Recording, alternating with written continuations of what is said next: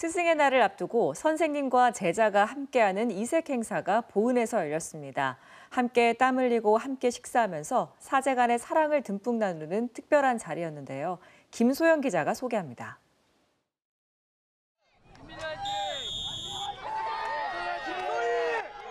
체육대회가 한창인 보은의 한 고등학교입니다.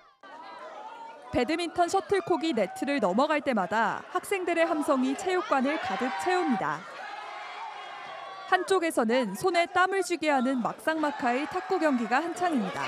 친구들이랑 후배들이랑 같이 팀 해가지고 축구 거기서 또 우승도 해가지고 더 좋았던 것 같습니다.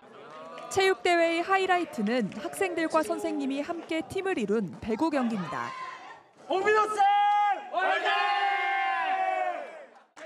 제자들의 응원에 힘입어 몸을 날려 서브를 넣는 선생님. 학생들도 선생님 못지않게 최선을 다해 경기에 임합니다. 학생들도 학업 스트레스를 해소하고 선생님들도 학생들을 가르치면서 어, 힘들었던 점을 이렇게 배구 경기를 통해서 싹 날리고 함께 친해질 수 있는 계기가 함께 땀을 흘린 뒤 같이 먹는 삼겹살도 꿀맛입니다. 학교와 동문, 학부모가 사제를 위해 마련한 식사 자리입니다. 동문회에서 이 삼겹살을 준비해 주시고 또 학부모에서 음식과 음료를 준비해서 오늘 학생들과 함께 행복한 시간을 보내게 됐습니다. 떠들썩한 운동 경기와 식사 중에 스승의 날을 앞두고 감사의 마음을 전하는 것도 잊지 않습니다. 학생들이 존경과 사랑의 마음을 담아 선생님들께 카네이션을 달아드립니다.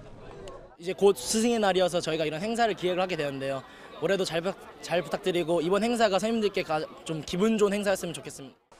함께 땀 흘리고 식사하고 마음을 나누며 스승의 날을 기리는 이색 행사가 사제 동행의 의미를 더하고 있습니다. 하나, 둘, 셋. KBS 뉴스 김소영입니다.